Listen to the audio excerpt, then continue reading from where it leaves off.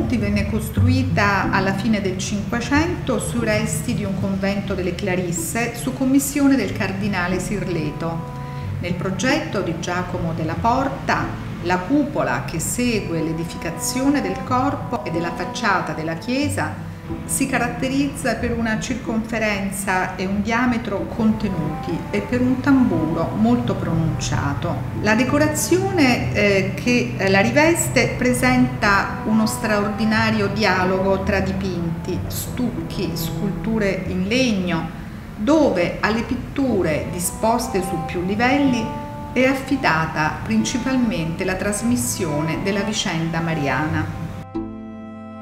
Siamo nella chiesa di Santa Maria ai Monti, una delle chiese più significative del, del Rione, realizzata al, tra il 1586 e il 1589 a seguito di un evento straordinario avvenuto in questo luogo in quanto è conservata appunto nel, nell'abside l'immagine della, della, Vergine con, con, il bambino, a cui si eh, attribuisce un miracolo avvenuto nel 1579, ovvero la guarigione di un, di un cieco. A seguito di questo evento, in corrispondenza di questo sito, Gregorio XIII ha voluto eh, edificare la chiesa tra il 1586 e il 1589, conferendo l'incarico della costruzione a Giacomo della Porta, uno degli architetti all'epoca più in voga eh, nella Roma di fine Cinquecento e allievo già di Michelangelo e del Vignola che si era eh, precedentemente già eh, diciamo, sperimentato nella costruzione della chiesa del Gesù. Infatti la, la facciata della, della, chiesa di Santa Maria Monti ricalca, anche se in scala minore, la facciata della chiesa del, del Gesù.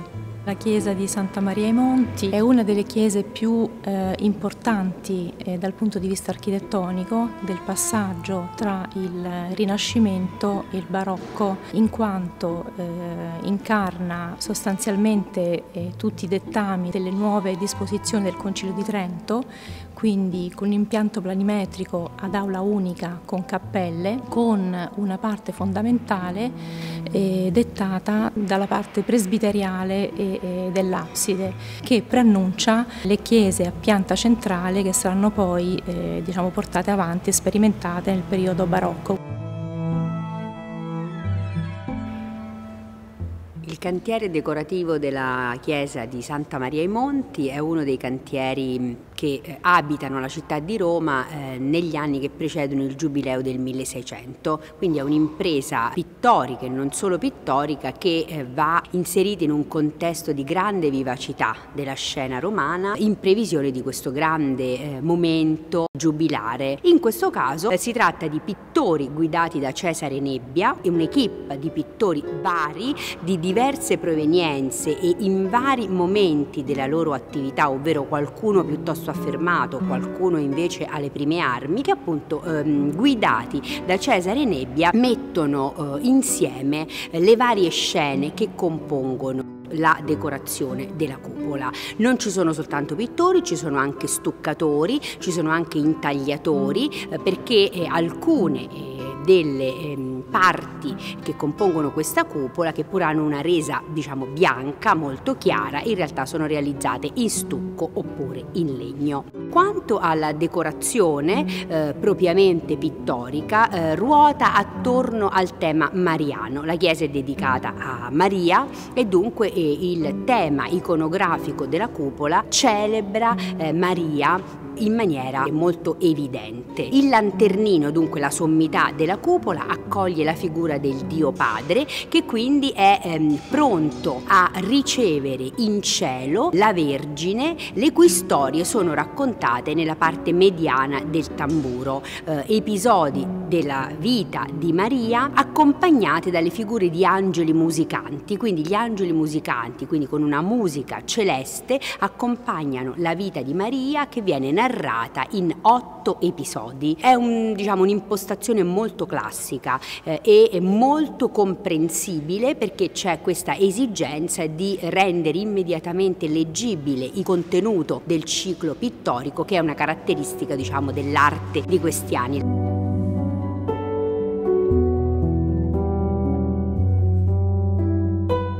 I dipinti sono sicuramente ad affresco, eh, i pigmenti utilizzati sono quelli tipici dell'affresco, quindi prevalentemente terre, eh, smaltino per gli azzurri, eh, nero di vite per i colori scuri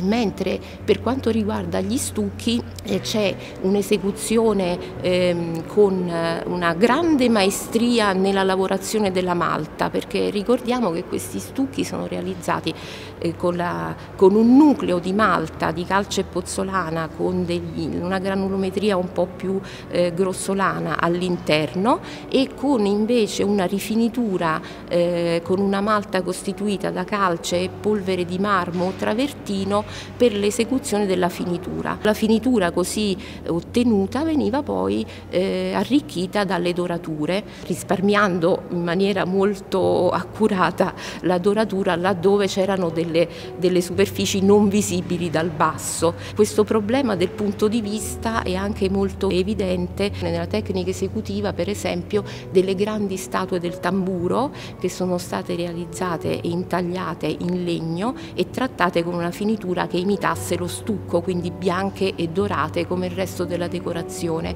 E queste sono, appaiono diciamo, viste da vicino come ehm, troppo allungate, deformate, insomma questo grande scorcio avrebbe creato eh, delle deformazioni che sono state poi invece eh, eh, bilanciate durante l'esecuzione dell'opera. Il nostro intervento di restauro è consistito innanzitutto nella messa in sicurezza di tutte le parti in pericolo di caduta, problematica questa legata alle numerose infiltrazioni di acqua avvenute nel corso dei secoli. Motivo per il quale era stata fissata una rete alla base della cupola negli anni 2000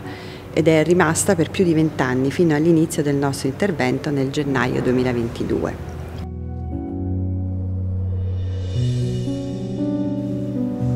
La cupola fu decorata in pochissimo tempo, tra la primavera del 1599 e il febbraio del 600. Questa rapidità dell'esecuzione è stata la causa del clacrer molto evidente sugli affreschi, come anche del decoesionamento e distacco degli stucchi del tamburo, dove la doratura è stata fatta quando la malta era ancora umida.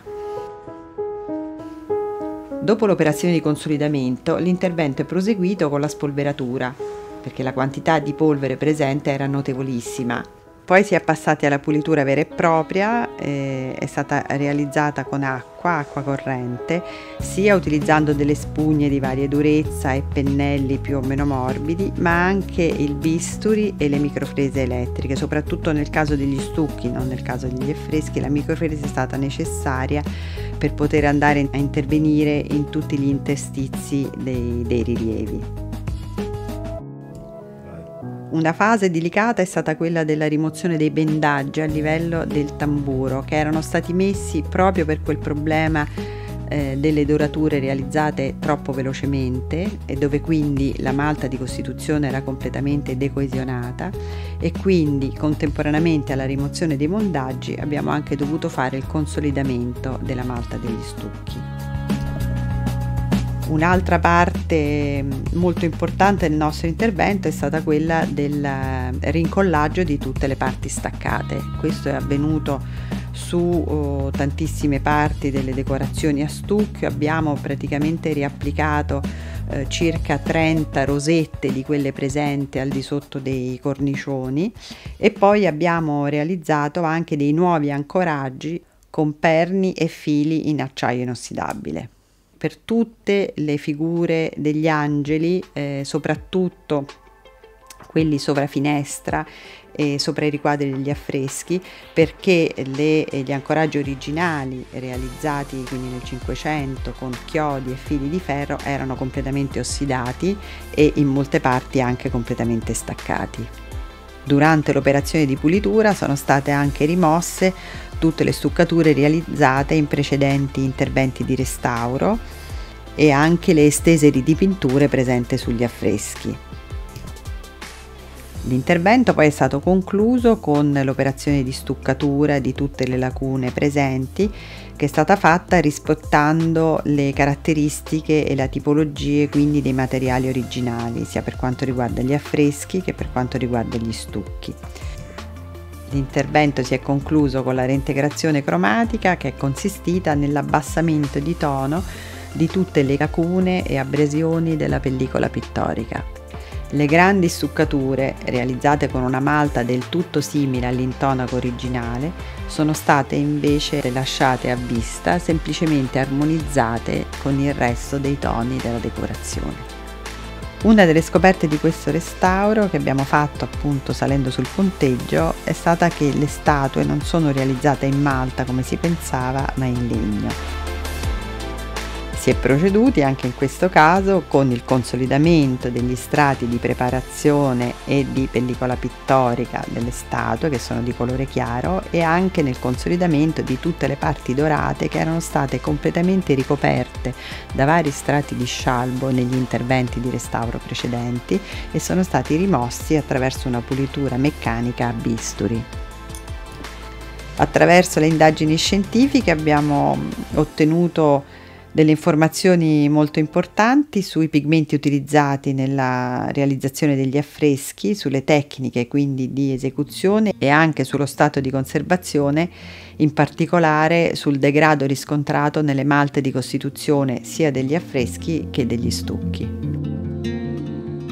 L'importante di questo restauro è stato proprio la riscoperta di queste cromie originali che sono state poi eh, valorizzate da eh, un nuovo impianto di illuminazione che abbiamo voluto, appunto era l'occasione di avere i ponteggi, un ponteggio tra l'altro anche molto importante che è stato costruito con una tecnica appunto del ponteggio multidirezionale che ha consentito anche eh, di poter eh, bonificare e rinnovare tutto l'impianto elettrico che era obsoleto, non era a norma e quindi questo è stato un'ulteriore eh, occasione per valorizzare la chiesa e l'intervento che abbiamo fatto con un nuovo impianto di illuminazione. Dopo più di un anno di lavoro finalmente possiamo togliere i teli e eh, smontati tutti i ponteggi i parrocchiani, ma non solo, perché tutti gli abitanti della città potranno eh, ammirare finalmente l'intervento di restauro che è stato realizzato alla cupola di Santa Maria ai Monti.